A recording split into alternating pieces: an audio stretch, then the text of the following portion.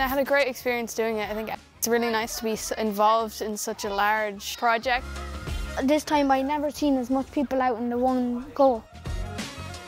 Just admiring the work and painting it. It's just all fun. Biggest thing is get the kids involved because they take more pride in it because it's their project.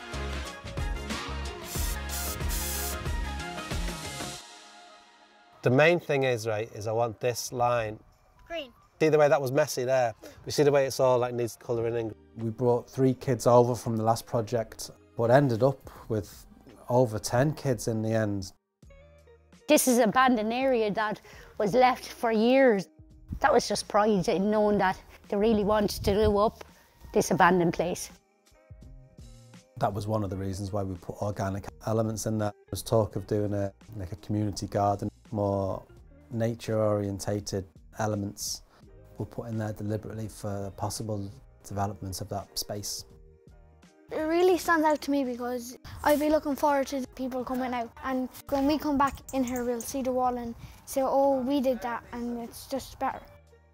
You do it in chalk first so if you, so if you go wrong you can take it off. So you want to choose a different colour than green, you want something that stands out, try like a pink or a purple.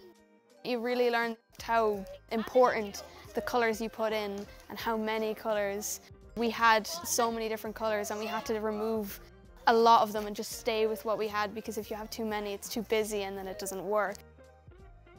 The kids did all these drawings themselves just from their own imagination in a style what we'd call doodle art where it's like a free association of thought. I really like that idea. The kids are just free to engage with these ideas.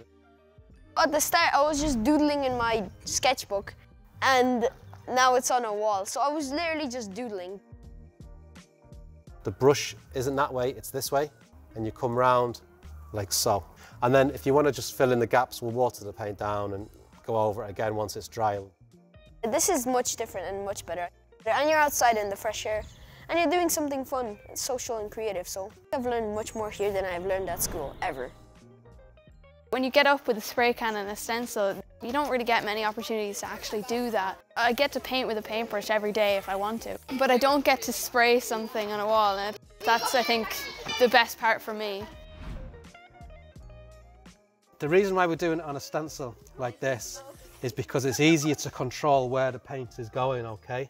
So it kind of makes it more accessible. So it's like something everyone can do.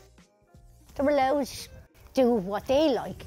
They were able to pick their colours and then at the end of it, pick out the little characters that represented them. Leah what had the idea of putting the handprints on instead of signing it.